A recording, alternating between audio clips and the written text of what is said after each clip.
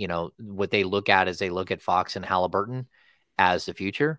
They look at the rest of the team as pieces that, uh, for whatever reason, aren't meshing together with the other two, with Fox and Halliburton, and um, and so they're going to make changes there. That that is the hope that they will be able to make changes.